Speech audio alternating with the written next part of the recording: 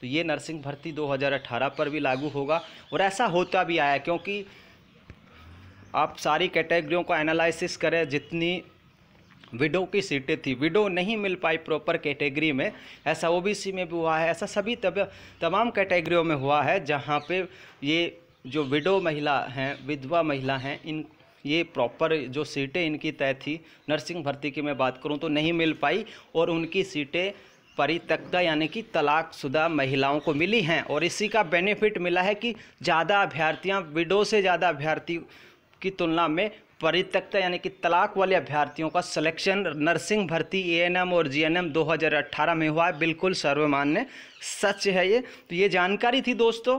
ये सिर्फ़ इस जानकारी देने का मकसद आप लोगों को अवेयर करना था कि ये डिसीज़न आया है चैलेंज किया गया था, लेकिन फिर वही बात हाई कोर्ट ने इसे सही माना। धन्यवाद साथियों, कोई चीज़ समझ में इसमें नहीं आई हो तो कमेंट ज़रूर करेगा धन्यवाद। जय हिंद, जय भारत।